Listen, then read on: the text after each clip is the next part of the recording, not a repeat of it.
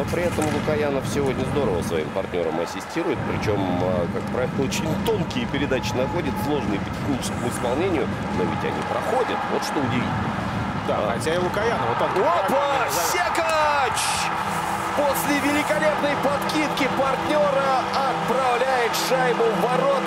20-я шайба Секача в этой регулярке дарит его команде победу над «Авангардом» и прерывает трехматчевую серию поражений. Ну каков Азиведа, смотрите.